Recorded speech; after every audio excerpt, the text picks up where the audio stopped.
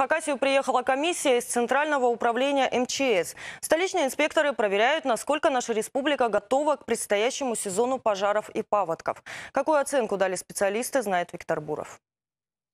Уже завтра Хакасия, по прогнозам синоптиков, ожидает резкое потепление до 15 градусов. Поводов для радости, в общем-то, немного. Такие погодные условия легко могут спровоцировать паводок, а высохшие поля рискуют вспыхнуть, как спички. И жители республики знают это не понаслышке. Так, во время пожаров 15 года влажность воздуха, например, опустилась до 3%, как в пустыне. Отголоски той апрельской трагедии витают в воздухе до сих пор.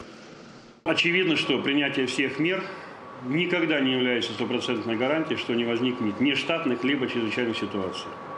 Жизнь это подтверждает, и поэтому мы готовы в случае невозможности предупреждения к минимизации последствий, а затем и к ликвидации. Поэтому теперь наша республика на особом контроле у федеральных властей. Спасательные службы Хакасии приведены в режим боевой готовности. Главное не допустить паводка и пожаров. Чтобы вода не пошла в села, в населенных пунктах укрепляют дамбы, чистят водостоки, делают профилактические отжиги и опашку. В случае ЧС руководители сельсоветов первыми должны быть на месте и не стесняться спросить помощи у республиканских властей. В соответствующих министерствах и ведомствах сезону паводков и пожаров уже все готово, в случае чего на спасение людей одновременно смогут выйти больше трех тысяч спасателей спасателей и военных и почти 300 единиц техники.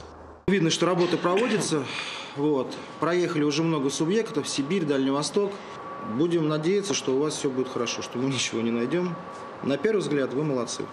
Кстати, эту самую технику комиссия из Москвы сегодня тщательно осмотрела. В республике, например, пожарную обстановку с воздуха контролируют беспилотники. К спасательным операциям всегда готовы специально обученные животные.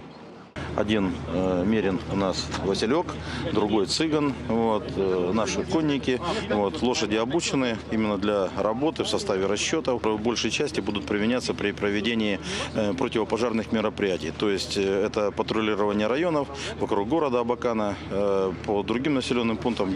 Но жителям Хакасии стоит позаботиться о своей безопасности и самим. Избитые просьбы быть осторожнее с огнем и соблюдать элементарные правила могут спасти не только имущество, но и человеческие жизни. Виктор Буров, Игорь Брюханов, Вести, Хакасия.